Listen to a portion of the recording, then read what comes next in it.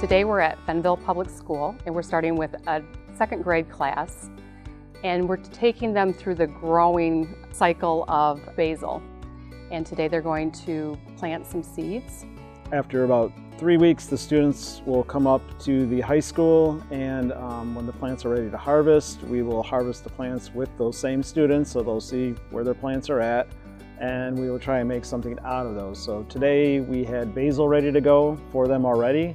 So they came up, we harvested the basil, um, we took a, some group of students into the kitchen and they um, watched my um, head cook help them actually make pesto in a food processor, add all the ingredients and mix it up. And we're going to use that basil pesto on a pizza for them to, to taste. Having that hands-on type of activity where they get to use their senses to explore the grow wall and then eventually eat it or taste that whatever um, herb is growing on the wall was really exciting for them.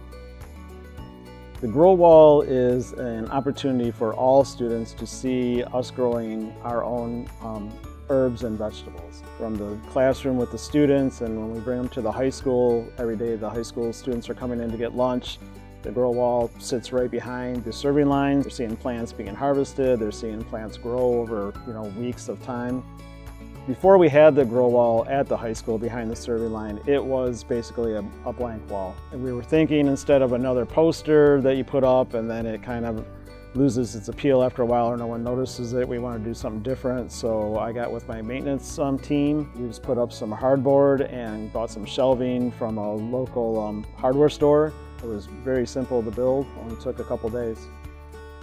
The Team Nutrition Grant assisted with the wall as far as funding for the smarter lunchroom changes. And that focused more on signage and placement and the physical environment in the lunchroom. The environmental change that supports healthier eating. It built a culture of wellness in the school and having changes in the lunchroom at the elementary school and the high school, the students will be able to follow that throughout their school career here and have that support in that way.